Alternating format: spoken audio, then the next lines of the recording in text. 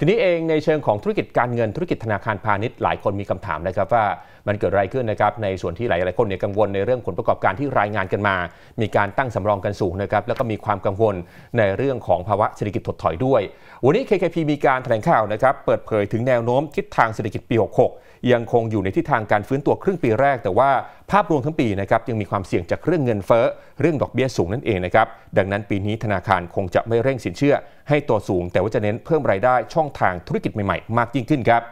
คุณอภินันท์เกลียวปฏินนท์นะครับประธานเจ้าหน้าที่บริหารกลุ่มธุรกิจการเงินเกียรตินาคินพัทระหรือว่า KKP ท่านก็บอกว่าความเสี่ยงเศรษฐกิจไทยอย่างที่บอกไปนะครับเงินเฟ้อดอกเบี้ยยังสูง แล้วก็เรื่องเศรษฐกิจโลกเข้าสู่ภาวะถดถอย จุดนี้มันอาจกระทบคุณภาพสินเชื่อ ทำให้จะไม่เร่งการขยายสินเชื่อเหมือนปีที่แล้ว เน้นระมัดระวังอย่างมากนะฮะระมัดระวังมากยิ่งขึ้นนะครับยังคงเติบโตอยู่แต่ว่าเติบโตอย่างระมัดระวังครับส่วนเป้าสินเชื่อปีนี้นะครับเติบโตที่ร้อยละ 13 จากปีก่อนร้อยละ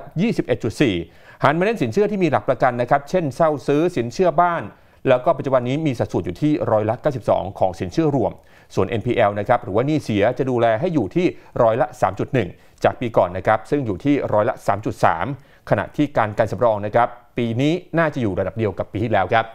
ขณะเดียวกันนะครับ KKP ก็บอกว่าจะใช้ช่องทางนะครับดิจิทัลในการขยายฐานลูกค้ามากขึ้น นอกจากนี้นะครับฐานลูกค้าที่มีอยู่เดิมเนี่ยซึ่งเป็นกลุ่มที่มีศักยภาพ ก็คาดว่าจะสามารถขยายธุรกิจไปได้ด้วยนะครับ ไม่ว่าจะเป็นกลุ่มธุรกิจในเครือ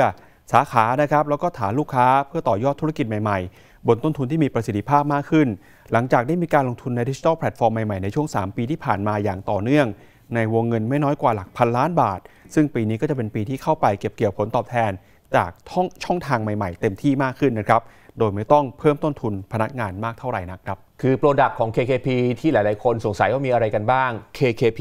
Mobile App นั่นเองนะฮะชื่อว่า KKP Mobile นะครับแล้วก็มี Jam นะครับรวมถึง Edge ซึ่ง แอปพลิเคชัน Jam เนี่ยตอนนี้มีผู้ดาวน์โหลดแล้วนะครับกว่า 1 0 0 0 0แสนราย แล้วก็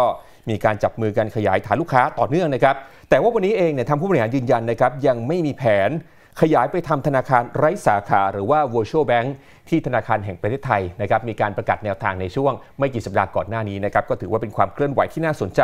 จากทาง KKP แหละครับมาดูกันต่อนะครับกับความเคลื่อนไหวของบริษัทจดทะเบียนกันบ้างครับ ล่าสุดนะครับทาคูนิ ประกาศจับมือนะครับกับ partner ครับ Marine Engineering ในการผลิตแล้วก็ประกอบนะครับรถยนต์ รถจักรยานยนต์มอเตอร์ไซค์ไฟฟ้าขายในไทยด้วยนะครับคุณชาติชายพยุหานาวีชัยประธานกรรมการนะครับของทาคูนิออกมาระบุนะครับว่าบริษัทเซอร์ซอลทาคูนิประเทศไทยครับซึ่งเป็นบริษัทที่มีการถือหุ้นนะครับในสัดส่วนร้อยละ51 ได้มีการลงนามกับ Marine Engineering นะครับเพื่อร่วมกันผลิตและก็ประกอบมอเตอร์ไซค์ไฟฟ้าในเขตระเบียงเศรษฐกิจภาคตะวันออกหรือว่า EEC ครับ ขอบคุณที่ติดตามรายการ TNN รู้ทันลงทุนนะครับ และอย่าลืมกด subscribe กดกระดิ่ง กดติดตาม กดไลค์ กดแชร์ และติดตามรายการของเราทุกช่องทางออนไลน์ แล้วคุณจะไม่พลาดทุกคลิปวิดีโอดีๆ ไปจนถึงรายการสดคุณภาพจาก TNN ช่อง 16 ครับ